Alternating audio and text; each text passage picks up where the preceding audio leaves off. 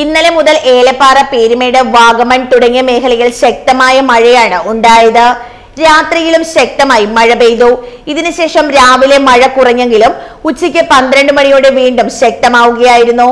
ഇതോടൊപ്പം ശക്തമായ കാറ്റും അനുഭവപ്പെട്ടു. ചെറു തോടുകളിലും ആറുകളിലുമെല്ലാം ജലനിരപ്പ് ക്രമാതീതമായി ഉയർന്നു. മഴയെ തുടർന്നുണ്ടായ മഴവെള്ളപ്പാച്ചിലിൽ പ്രധാന റോഡുകളിലെല്ലാം വെള്ളക്കെട്ട് രൂപപ്പെട്ടു. കുട്ടിക്കാനം വാഗമൺ തുടങ്ങിയ മേഖലകളിൽ ശക്തമായ മഞ്ഞുമിറങ്ങി. ഇന്നലെ രാവിലെ എട്ട് മണി മുതൽ ഇന്ന് രാവിലെ എട്ട് മണി വരെ പീരിമേട്ടിൽ എഴുപത്തിരണ്ട് മില്ലിമീറ്റർ മഴയാണ് രേഖപ്പെടുത്തിയത്. രാവിലെ എട്ട് മുതൽ രണ്ട് വരെ നാൽപ്പത്തിരണ്ട് മില്ലിമീറ്റർ മഴയും പെയ്തിട്ടുണ്ട്. മഴ ശക്തമായി തുടരുകയാണ്. News bureau Peermade.